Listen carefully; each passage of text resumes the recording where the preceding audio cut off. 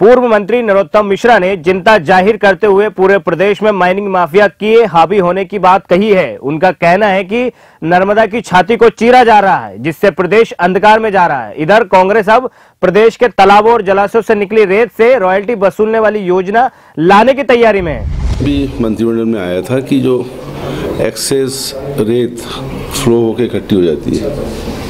जिसकी वजह से पानी कम आता है बांधों में तो उसको निकाल देंगे तो पानी ज़्यादा आएगा अगली बरसात जिससे इरिगेशन होगा, जिससे बिजली पैदा होगी।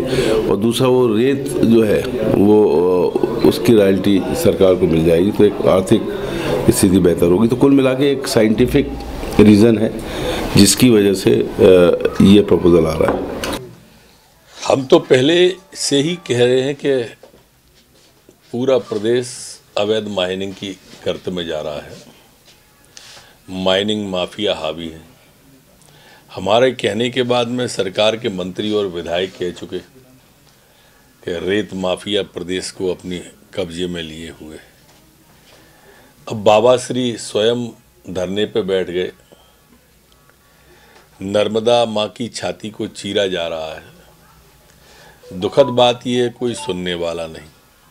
और उस पर सितम ये है कि अब तालाब भी खोदे जाएँगे। चारों तरफ़ लूट का वातावरण है और इसके कारण से भय का वातावरण है।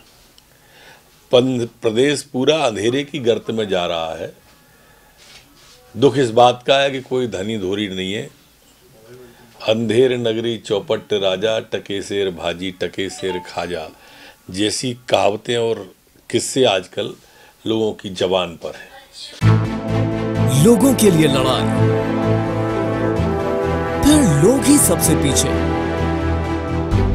जनता के लिए वायदे।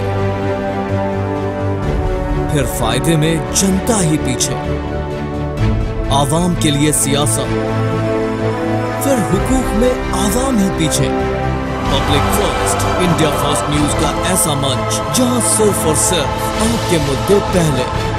आपकी आवाज फर्स्ट देखिए public first voice of public only on India First News.